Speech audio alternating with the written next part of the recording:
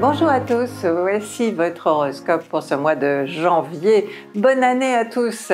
N'oubliez pas, avant que nous démarrions, que euh, vous pouvez faire partie de notre communauté, c'est-à-dire que vous appuyez sur le bouton rejoindre et que vous aurez euh, plein de petits cadeaux. Ensuite, euh, il y a 12, notre site où vous pouvez faire euh, des compatibilités, euh, avoir un horoscope, euh, votre thème astral même. Vous avez également les consultations avec Zoé ou avec moi au téléphone et vos réseaux sociaux avec des petits posts quotidiens. Taureau et ascendant taureau dans votre horoscope de ce mois de janvier, la bonne nouvelle, c'est quand même l'aspect que vous envoie Jupiter depuis les poissons. Un secteur pour vous de projets, d'amitié, de rencontres euh, avec des personnes qui peuvent vous aider ou même euh, d'aide hein, qu'on vous offre, euh, qu'on vous apporte.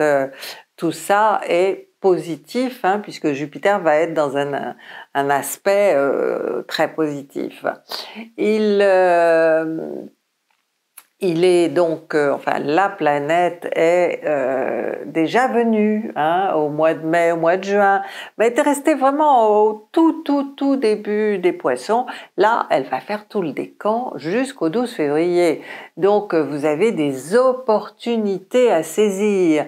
Il y a des portes qui s'ouvrent, des perspectives qui s'offrent à vous. Hein. On est dans la perspective d'un futur où vous allez pouvoir agir agir, faire quelque chose, obtenir une reconnaissance, peut-être une promotion, hein, mais tout ça reste, euh, comment dire, hypothétique. Hein, euh, avec le verso, euh, on n'a pas vraiment de certitude. on sait que ça peut arriver, qu'il y a une chance. Bon, à moins que le que l'histoire, que l'affaire en, question soit gravée dans le marbre et que ce soit signé. Donc vous attendez tout simplement que, que l'événement se produise. Hein. mais autrement, on est vraiment dans l'anticipation et euh, bon, euh, euh, une anticipation quand même agréable qui va faire que vous aurez un espèce de sentiment de sécurité et surtout d'exister, hein, d'avoir un rôle à jouer euh, dans ce monde, dans cette euh, euh, dans votre vie professionnelle ou votre vie sociale, hein, si vous ne travaillez pas. Il y a Mercure aussi qui va vous envoyer des influx. Elle est directe jusqu'au 14 et elle est tout en haut de votre ciel. Donc euh, il y a euh, probablement à, cause de ce projet dont nous parlions d'importants rendez-vous qui sont à prévoir hein, pendant, en tout cas au moins jusqu'au 14.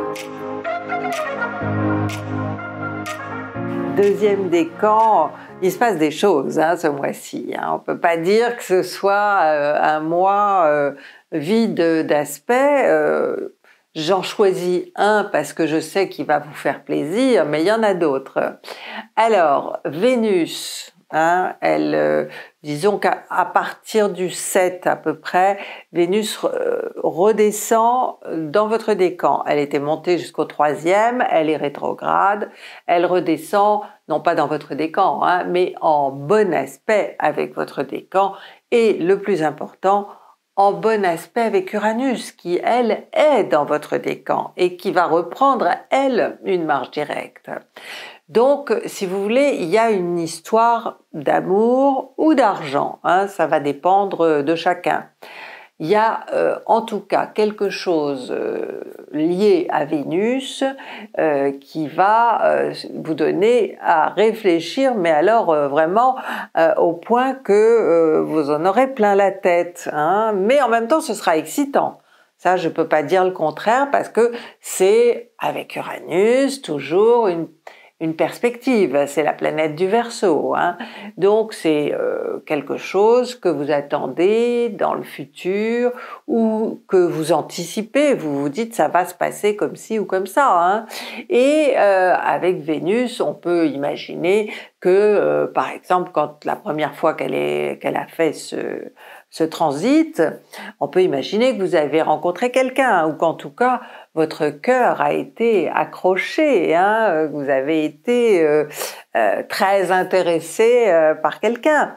Et là, bon, vous, vous réfléchissez, vous peut-être que vous revoyez cette personne, mais ça n'est pas sûr. Hein, avec Vénus qui va rétrograder, donc dans le mois il est possible que euh, effectivement il y ait eu quelque chose qui se soit mis en, marche, hein, euh, qui est démarré, et que avec euh, Vénus rétrograde, elle est d'ailleurs, je dis des bêtises, elle est rétrograde depuis quelque temps, hein, mais bon, elle croise Uranus, elle fait un bon aspect avec Uranus, et donc là, ça va vous donner vraiment encore plus à réfléchir Hein, si sa rétrogradation vous a déjà donné envie de prendre du recul avec Uranus, c'est encore euh, davantage.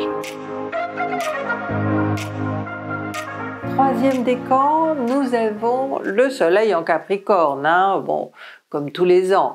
Mais euh, bon, il fait deux aspects. D'abord, il, est bien relié à Neptune dans un premier temps, et ensuite, bah, il va être conjoint à Pluton.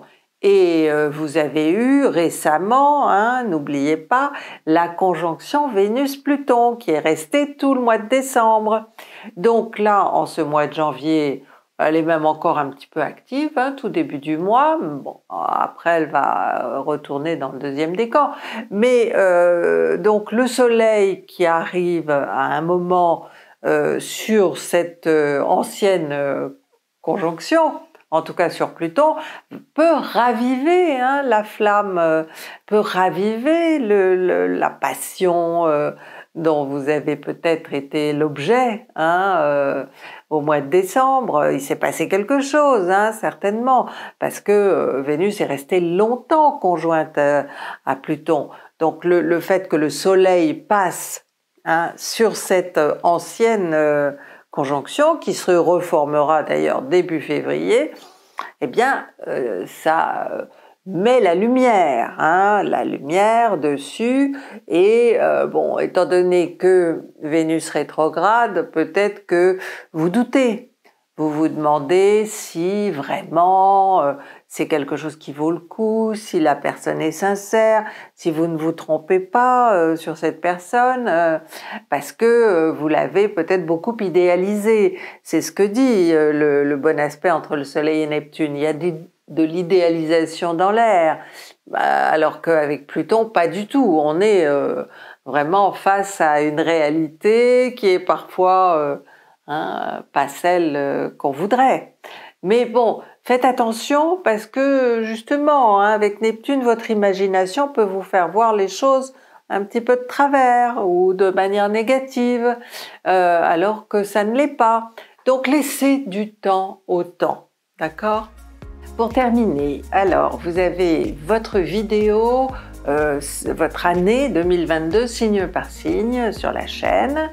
Ensuite, vous avez mes petits bouquins que vous pouvez euh, commandé euh, sur Amazon, le hors-série du version féminin qui est extrêmement complet aussi sur l'année 2022 euh, et puis si vous avez besoin d'en savoir encore plus le 3210 et le site du Figaro TV Magazine.